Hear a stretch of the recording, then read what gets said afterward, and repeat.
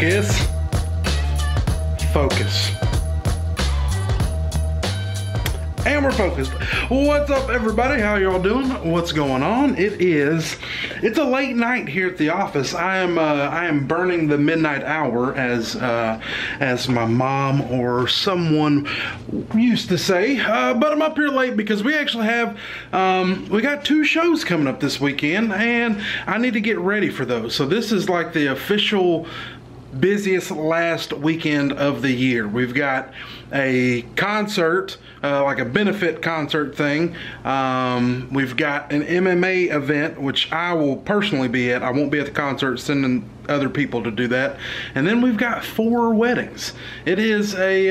Uh, it's a pretty busy weekend here at the office, so you got to do what you got to do. There's not enough time in the day, and here I am. I never, I never like leaving this space with anything charging just because things can happen. You know, wires can get hot, batteries can get hot. If I'm not here to turn something off, um, I, I, just hate like leaving here overnight, letting them charge for 10 hours.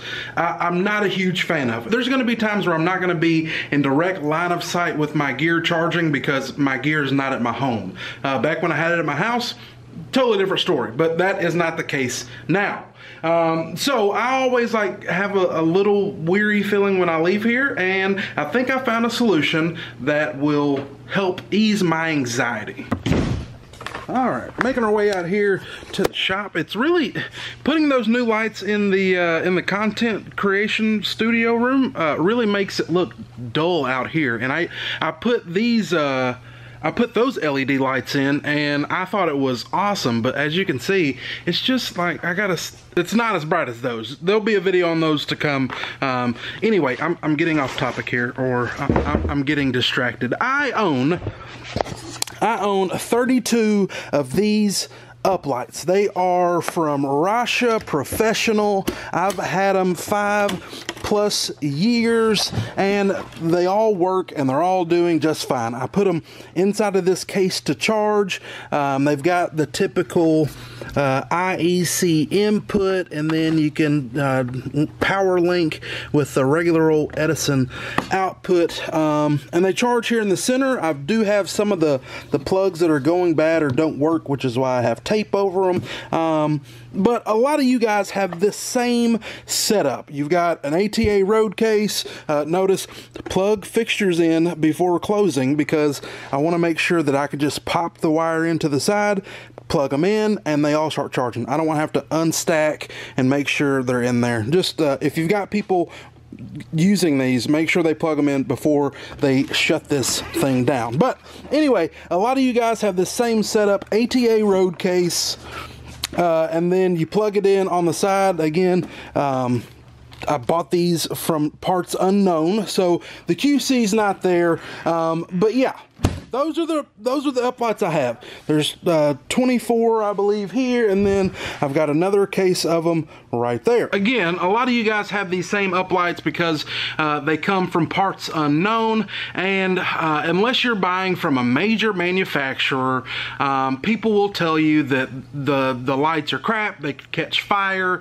um, you're gonna have problems with them getting hot and stuff like that. That goes for any any any light period. But I will agree with the fact that if, if you're ordering direct from overseas or, or maybe not one of the major manufacturers, some of the QC uh, is, is not on par with what you might expect from uh, from a reputable company. It's it's it's a part you you pay uh, for for getting a light so cheap. And uh, back when I got these uplights, and even still, I, I still think um, the the stuff that I have now works fine.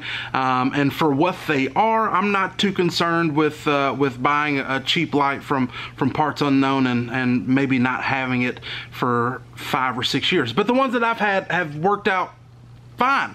I'm getting sidetracked. This is not about Chinese lights. It's about charging them. So um, I charge these things up generally I, I, whenever I leave here at 6 o'clock uh, in the afternoons. I plug them in and I pop, you know, I'm back up here between 7.30 and 8 o'clock um, and they're still on. They're fully charged, but I've noticed whenever I come in, um, they're warm because they, they should not be plugged in that long, but it's what works best for my schedule. I bought something today that I think will ease my nerves when charging things not here at the shop and also limit the time that they're plugged in if they're if they don't need it. I think the longer you keep something with a battery plugged into it, um, it I think it just degrades the battery over time. I think that's been proven. Uh, but anyway, I bought I bought this thing at Walmart today. It's a uh, it's a digital timer for uh, for uh, outlets in your home, uh, or it's it's indoor outdoor, so even outside.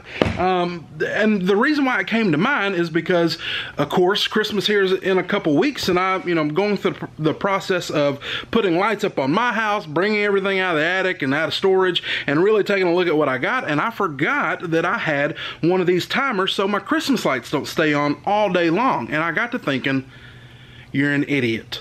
Why haven't you been doing this with your uplights? Pretty, that's pretty genius. You're welcome. You're, you're welcome.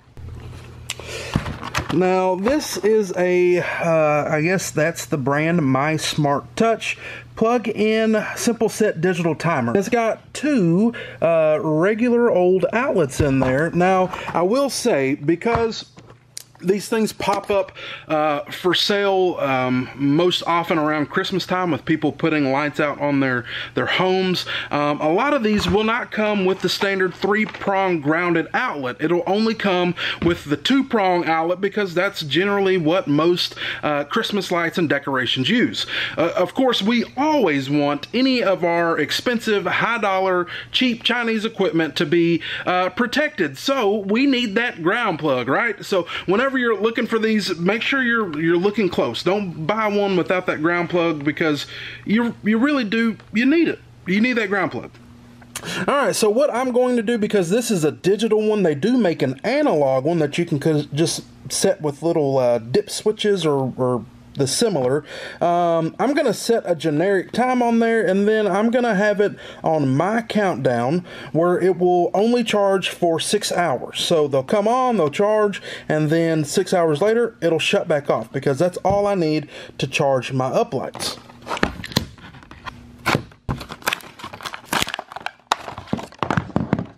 Now, I will say that this is a 15 uh, amp, 1,875 watt. Uh, that's what it can handle. So um, be sure to know what your equipment puts out. You know what it's, what kind of juice it's taking. If you don't know how to do the math on that, or you don't want to do the math on figuring out how many amps uh, your system takes to, to charge or to run your DJ rig. This is information you should know. Um, if you don't want to do the math on it, there is a handy dandy tool out there called a Kill A Watt, and it's surprisingly also common uh, and popular for sale around this time because people want to know how much extra energy they're using whenever they plug in their uh, their lighting extravaganza outside of their house.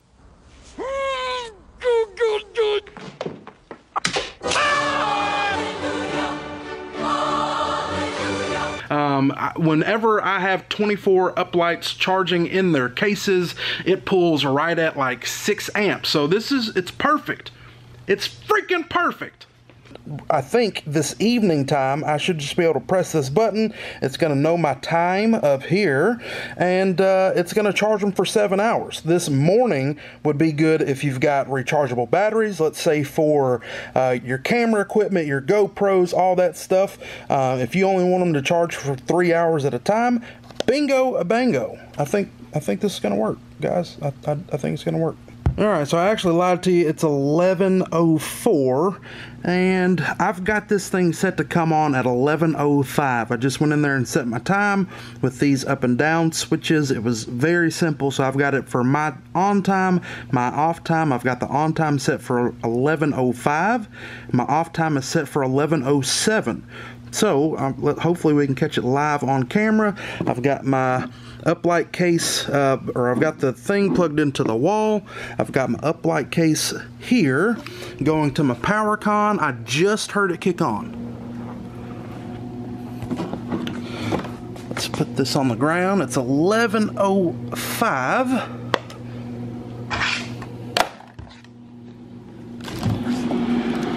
And if you can tell by the fan, they're all charging. If you look closely, they've all got these red lights that indicate charge. So, that's awesome. While the time is going by, I do um, I do want to let you guys know that I charge these with the lid closed. Um, yes, it traps a little bit more heat in there, but in my dumb bro science theory um, if I if I charge them with the cases open if there was a catastrophic failure it's got all of the oxygen in the room to, to create the fire.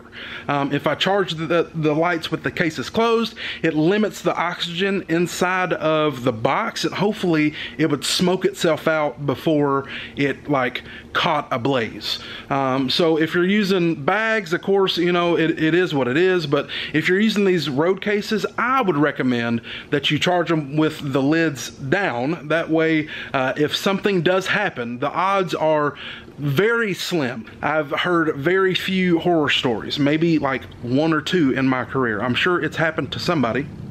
Um, but it hasn't happened to me, and I've had these things for five years. They've been dropped, kicked, uh, hot environments, cold environments, and they they still work perfectly fine. So um, this thing is still charging.